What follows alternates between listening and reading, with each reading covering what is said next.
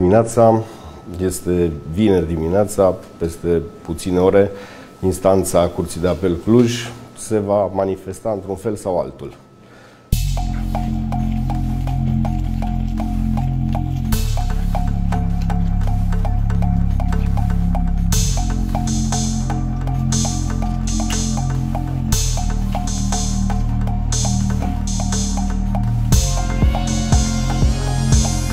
Primarul municipiului Baia Mare, Cătălin Cherecheș, a fost dat în urmărire oficial de către poliție. Cherecheș a fost condamnat definitiv vineri la 5 ani de închisoare cu executare pentru luare de mită.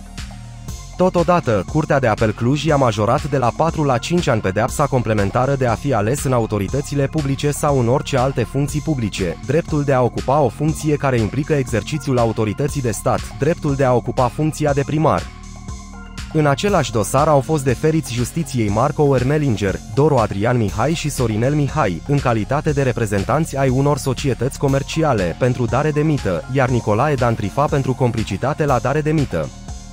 Procurorii anticorupție susțin în rechizitoriul trimis în instanță că, în cursul anului 2013, Cătălin Cherecheș, în calitate de primar al municipiului Baia Mare, a pretins, a acceptat și a primit de la oamenii de afaceri menționați mai sus diverse sume de bani în legătură cu îndeplinirea atribuțiilor sale de serviciu.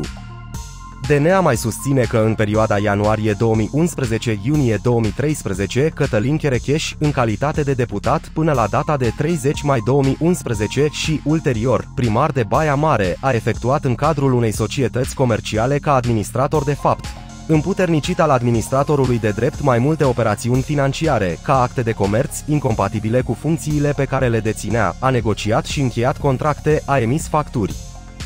Cherecheș a fost dat deja în urmărire generală. Cu doar câteva ore înainte de sentința finală, edilul posta la derută un mesaj video înregistrat la ora 3 dimineața, ca și cum ar fi fost în direct. Avocatul său îl îndeamnă să se predea în cel mai scurt timp posibil. Onoarea ți-o construiești o viață întreagă și o pierzi într-o clipă. Am fost acuzat pe nedrept. Este mesajul primarului din Baia Mare la ora 3 dimineața, înainte de a se pronunța sentința definitivă. Polițiștii au mers la el acasă pentru a-l duce în penitenciar, iar nerăbdarea lor a dus la scene demne de cascadorii râsului. Surpriză însă. La vilă, primarul a fost de negăsit. Polițiștii l-au căutat la primărie și la prietenii lui din satul mare și Sălaj. Mama edilului ar fi decolat ieri din Germania spre Italia. Pe insula Panteleria, familia ar avea mai multe proprietăți.